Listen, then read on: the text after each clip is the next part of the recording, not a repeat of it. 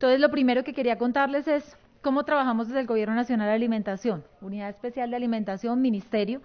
Recuerden que esta unidad fue creada solo hace un año, tuvo la transición de hacer el PA en casa, que eso era un gran reto, de un día para otro pasamos de PA en sitio a PA en casa, y estamos ya en el reto de la presencialidad. Entonces, con esa introducción, si les parece, arranco un poco los mensajes que les queremos compartir. Primero tiene que ver con retorno a clases, que está totalmente ligado al plan de alimentación. Al momento, según las cifras que nos reporta cada secretaría, semanalmente cada secretaría nos actualiza los datos de presencialidad en sedes, en instituciones y de niños. El promedio en el que vamos es cerca del 80%, mirando colegios públicos, colegios privados. Si miramos asistencia de jóvenes, el último dato que tenemos va superior al 67% y esperamos que ya en estas últimas semanas, digamos en septiembre, culminen las secretarías las adecuaciones. Ustedes recuerdan que para el retorno es clave el protocolo de bioseguridad y las adecuaciones que se hagan institucional. Entonces, esas son las cifras base. con esa, digamos, con esa cifra de referencia, ¿cómo va el PAE? Y han visto que han salido varias noticias recientemente con respecto al PAE. Entonces, lo primero es contarles que cuál era el reto, transitar de un PAE en casa a un PAE en la institución. Y para ello, y ahorita Juan Carlos lo va a ampliar con todo el detalle del tema, uno puede hacer o ración industrializada o comida transportada o preparado en sitio. Y les vamos a contar en qué, en qué estado están las secretarías. La Contraloría ha hecho un trabajo muy riguroso en virtud de sus competencias y todas las semanas les damos a ellos directamente la información. Eso me parece supremamente importante porque la labor nuestra es acompañar, detectar, informar y ya los organismos de control, llámese Contraloría y Procuraduría, generar las investigaciones del caso que creo que en próximos días se estarán pronunciando de todos los casos que han visto. Al momento les puedo contar que encontramos cuatro grupos de entidades territoriales. Recuerden que son 96 secretarías de educación y se las voy a mencionar por grupos cada una. El primer grupo consta de 24 entidades territoriales. Esas entidades son las que ya preparan el PAE en sitio, en casi todas sus instituciones y reconocemos su esfuerzo. Allí ustedes pueden encontrar entidades como Apartadó, Bello, Sabaneta, Envigado, Itagüí, Atlántico, Cartagena, Boyacá, Tunja, Caldas, Manizales, Fusagasugá, Soacha, Bogotá, Valledupar, Zipaquirá, Guaviare, Tumaco, Maicao, Riohacha, Uribia, Armenia, Girón y Baupés. El siguiente grupo de instituciones, de entidades territoriales, perdón, son 23. Estas son las que ya pasaron de PAE en casa a ración industrializada. Juan Carlos les dará el detalle, pero la ración industrializada, la esencia es que el alimento no sea perecedero, que tenga todos los mismos elementos y les doy una pista importante para entenderlo como los niños han regresado gradualmente y como a los órganos de control tenemos que garantizarle que no se pierda ni un alimento, yo no puedo estar pidiendo alimentos, por decirte, para un grupo de 100 chicos, si solo llegan 50, porque ¿qué haría con los otros 50? A eso ayuda la ración industrializada, que yo la puedo guardar, no se ha vencido, tiene todas las características y la puedo entregar al día siguiente. Esas secretarías que están en ración industrializada y preparando todas las cocinas y los comedores escolares para hacer ración eh, preparada, son Amazonas, Turbo, Antioquia, Barranquilla, Malambo, Soledad, Bolívar, Caquetá, Florencia, Casanares, Cesar, Cali, Cundinamarca, Chía, Facatativá, Guainía, La Guajira, Santa Marta, Meta, San Andrés, Tolima, Jamundí Bichada. Y los últimos dos grupos, me centraré sobre todo en el final, tienen que ver.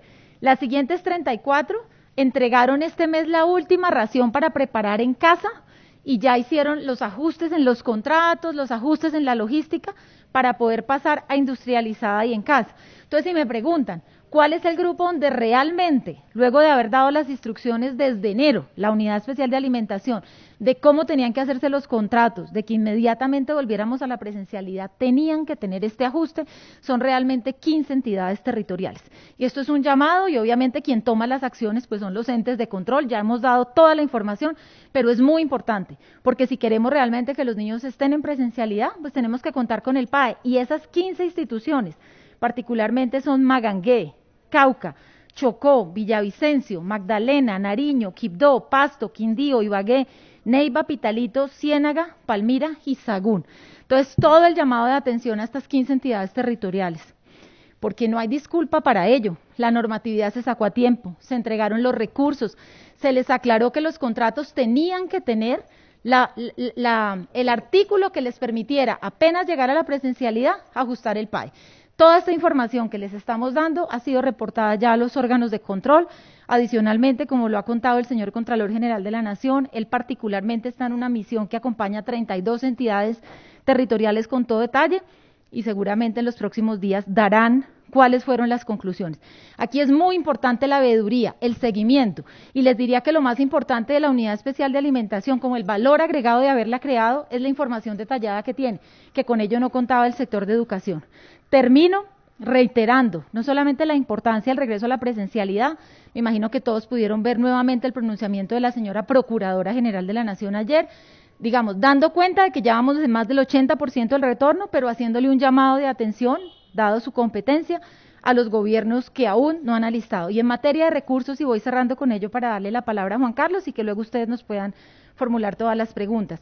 Ya va más de 1.2 billones entregados a las entidades territoriales para prepararse para este retorno. Siempre se hablan de 400 mil millones del FOME, pues además, hace tres semanas entregamos más de 257 mil la plata adicional del PAE, la plata adicional de los mejoramientos de infraestructura, la plata para los fondos educativos. Entonces yo creo que tenemos que en esto ser muy precisos, cada entidad territorial rendir cuentas, ejecutar los recursos y no tomar esto pues como excusa para no hacer las adecuaciones del caso. Yo creo que con esto terminaría, Juan Carlos, las ideas generales del seguimiento y de dónde tenemos que poner, como dicen, la lupa y cómo estamos trabajando con los órganos de control en esta materia y ya entre el detalle el doctor Juan Carlos. Bien, muchas gracias, señora ministra.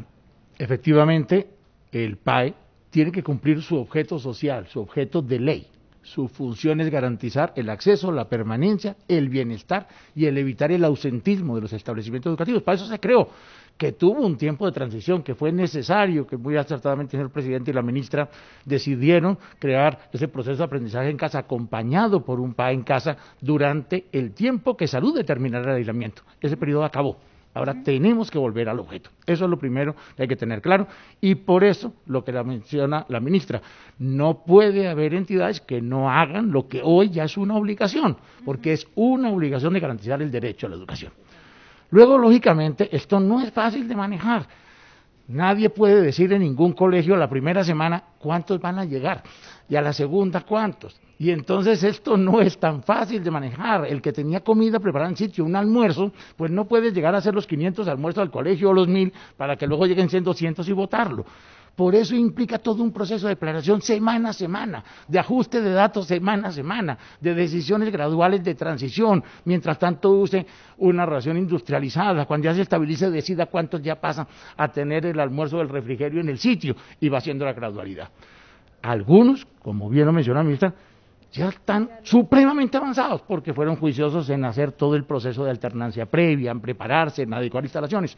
Otros, como los mencionó la ministra, a estas alturas no han empezado el proceso y entonces no se cumple el objetivo. Y esto lo tiene, nosotros reportamos semanalmente de forma pública ya a los órganos de control y al Ministerio el estado de cantidad. Y a esto está haciendo seguimiento de la Contraloría, la Procuraduría, que son quienes tienen ya la facultad de determinar si hubo dolo, culpa grave o hubo eh, una falta administrativa. Nosotros no tenemos esas competencias, no somos un órgano de control, ponemos toda la información sobre el tapete, ponemos toda la normatividad oportuna y eso es lo que está. Y voy a casos concretos de algunas cosas que nos importan a nosotros mucho en el país.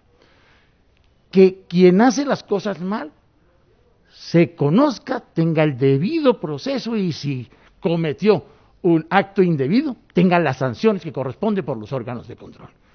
Ojalá tengamos sanciones en los casos que ameritan. ¿Y qué pedimos? No generalizar, que uno haga las cosas mal, generalizarlo, lo único que hace daño es al programa y en general a los niños. Este es un programa que tiene enormes controles sociales fuera de la obligación de tener una supervisión, una interventoría con equipos técnicos reglamentados desde el mismo ministerio, que luego tiene obligación de tener la certificación de los rectores de lo que se entregó en cada colegio, que tienen comité de alimentación escolar conformado por padres, estudiantes y docentes en cada colegio para hacer la supervisión. Pero justamente por eso es el que más ojos tiene encima. Qué bueno que los tenga, debe seguirlos teniendo. Y nosotros no queremos que nada se tape, todo lo contrario. Queremos hacer que no exista el más mínimo chance de que alguien haga algo sin que se sepa. Y esperamos que los órganos de control procedan a sancionar cuando se evidencia eso. ¿Qué pedimos? No generalizar y entender el proceso. ¿Mm? Voy a, sí, ejemplos, y entender que tenemos que hacer ejercicios muy serios. Casos recientes, eh, que son emblemáticos, que nos permiten ver lo que estamos haciendo en el momento. En Boyacá salió una noticia de 15 niños con una intoxicación, supuesta una ETA, llamamos, una enfermedad de transmisión por alimentos. En ese momento que está establecido en los protocolos, el rector inmediatamente debe suspender el servicio, debe eh, parar todos los alimentos, guardar incluso de lo consumido los restos que quedaron, comunicar al equipo técnico del PAE y comunicar a salud. Lo hizo tal cual el rector. Ahí empieza también la, eh, el equipo técnico del PAE tiene que ir, Secretaría de Salud tiene que ir y nosotros comunicamos al INVIMA y arrancan tres ejercicios. El INVIMA inmediatamente empieza a verificar esos productos respecto a sus licencias. Y oh sorpresa, un producto lácteo, una leche saborizada, tenía efectivamente el sello con la licencia de otro producto. No de ese producto y ese producto no tiene registro. Ahí hay en el mercado los operadores ni las secretarías eh, producen los alimentos, los compran en el mercado, están a disposición del público, lo puede comprar cualquier ciudadano. Nosotros hacemos la tarea de hacer esto para también comunicarlo a toda la comunidad. Ya lo comunicamos a todas las secretarías y el INVIMA, a toda la comunidad, porque ahí hay un delito mayor y que se sale del ámbito nuestro. Pero además luego la Secretaría de Salud hizo toda la investigación y no solo mira estos productos, tiene que mirar todos los del entorno, los que hay también en la caseta escolar, las condiciones de sanidad de los mesones, del sitio de servida, del sitio de preparación, de las bodegas. Ya salieron los resultados, eso no lo administrar hoy. Ayer salieron, hoy nos los comunicaron. Eh, efectivamente, solo ese producto lácteo tenía problema, pero no tiene ningún agente bacteriano. O sea, no fue el causante. Y salieron los resultados de los 15 niños, del análisis biológico de sus resultados.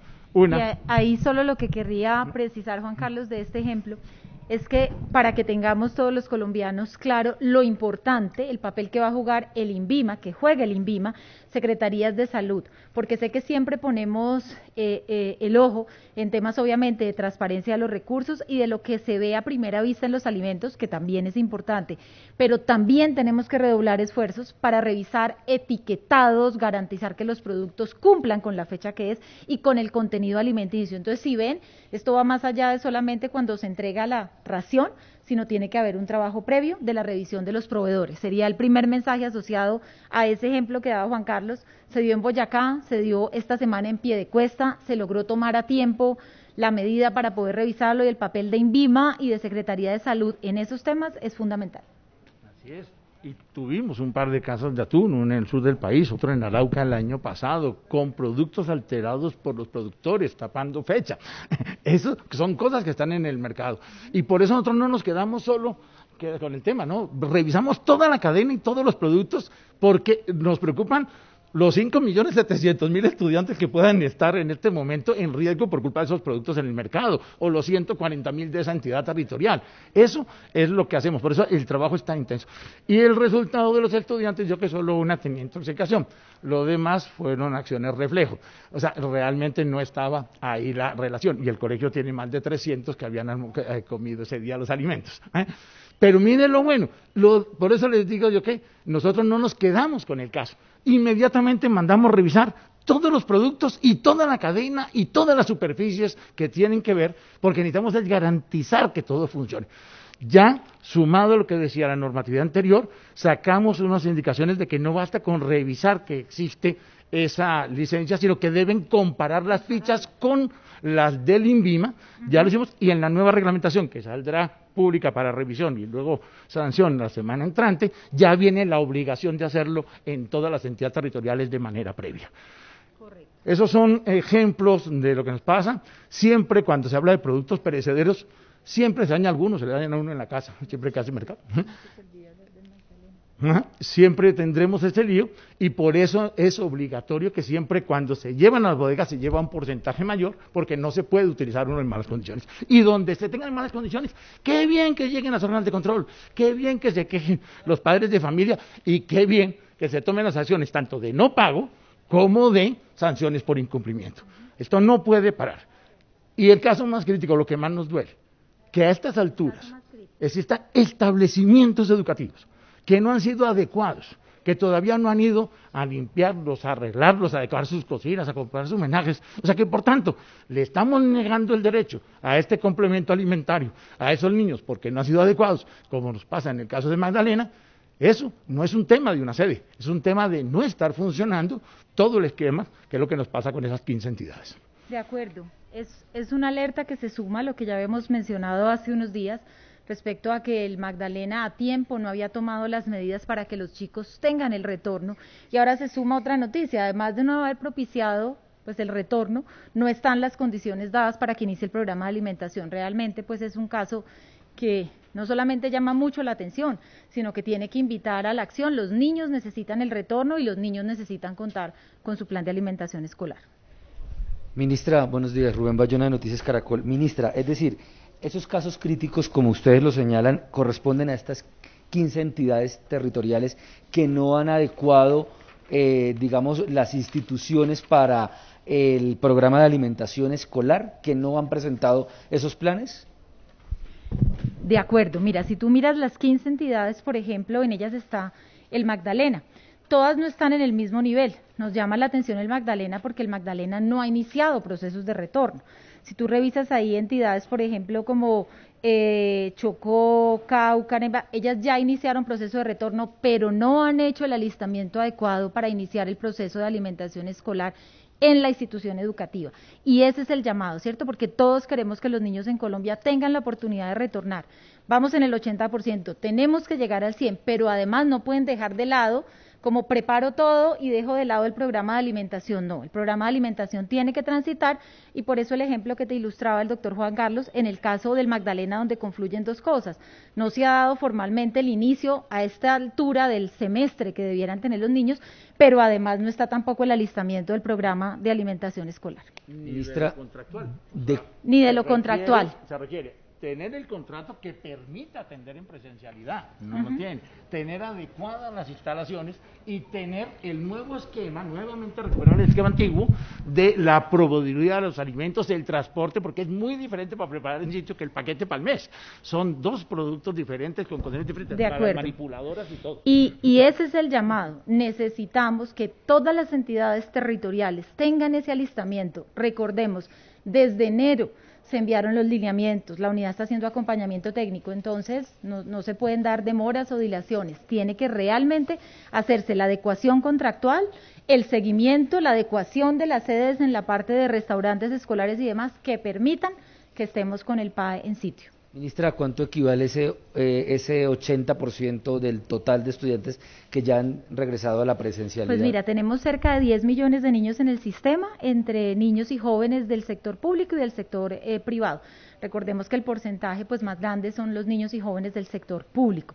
Entonces, es un porcentaje importante. Y una claridad que quiero dar es que de pronto a veces mencionan con referencia a cuántos días están yendo los chicos a las instituciones y recuerden que esto depende de lo que Salud determinó en la resolución 777 para los protocolos de bioseguridad. Entonces yo sí quiero aclarar que esas secretarías están haciendo todo lo propio para el retorno y que dependiendo del tamaño de cada institución, a fin de garantizar el metro de distancia y todos los protocolos, se logra que todos los niños pasen por la experiencia de presencialidad algunas no logran que sean todos los días, sino algunos con trabajo en casa mientras tengamos que cumplir las medidas de aislamiento. Y recordar un tema muy importante, ahora que retornamos y que tenemos que hacer el esfuerzo porque retornen todos los niños del país, no es solamente retornar la prioridad, la prioridad es trabajar brechas. Ustedes han visto estadísticas últimamente que se han puesto sobre la mesa de deserción, de inasistencia, de rezago escolar. Entonces, por eso tan importante retornar, por eso tan importante el PAE, que es uno de los factores que ayuda a evitar la deserción, y el trabajo académico. Ahora nos tenemos que concentrar, el Ministerio con el ICFES ha creado un programa que fortalece PTA y evaluar para avanzar. Recuerden que tendremos pruebas después de varios años que pues habían terminado en gobiernos anteriores, vuelven las pruebas tercero, quinto, creamos la de séptimo, también la de noveno, y ustedes se preguntarán, ¿para qué esta serie de pruebas? Por responsabilidad. Se van a comenzar a ejecutar a partir del 28 de septiembre y estas pruebas lo que le van a dar a los maestros, a los directivos y a los secretarios de educación es buena información para entender dónde están las brechas y para reforzar esfuerzos. Si miramos esto en el contexto internacional, todos los países están poniendo el foco en el retorno y obviamente encerrar las brechas. Esto no lo podemos pues perder de vista y los temas complementarios, llámense PAE, transporte escolar, tutorías, pues son temas muy importantes para la permanencia educativa. Ministra María Camila Castro de Blue Radio, quisiera preguntarle por ese 20% de instituciones que todavía no han regresado. ¿Hay algunas adecuaciones en especial que esas instituciones no tienen? ¿Cuáles son? Correcto, María Camila. Sobre ese 20, las Secretarías de Educación nos presentaron hace tres semanas un detalle de cuáles estaban ya aperturadas, cumpliendo todos los protocolos y a cuáles iban a dedicar los nuevos recursos que giramos hace tres semanas, que son más de 257 mil millones. Lo hacen a través de dar esta plata directamente a los fondos del colegio, se llaman los fondos de servicios educativos, de forma que el rector rápidamente pueda terminar de invertirlos. Y te doy ejemplos, tienen que ver con tema de terminar de adecuar ventanas para el tema de ventilación en el protocolo, terminar de hacer lo propio con las entidades territoriales para el tema de la provisión de agua, para el lavado de manos, toda la señalética y baterías sanitarias que son necesarias. Así que ya el tema no es que la plata no esté, es que rápidamente se ejecuten, se terminen. Y una noticia que les estaremos dando en el mes de octubre, en septiembre al final salen las instituciones habilitadas, es que más allá del protocolo, que es pues el punto clave para volver, hicimos una nueva convocatoria de mejoramiento rurales, va a tener un alcance muy grande en todo el territorio nacional y con ella, digamos que esta oportunidad o este reto que nos pone la pandemia se va a acompañar de mejoramientos integrales para la ruralidad.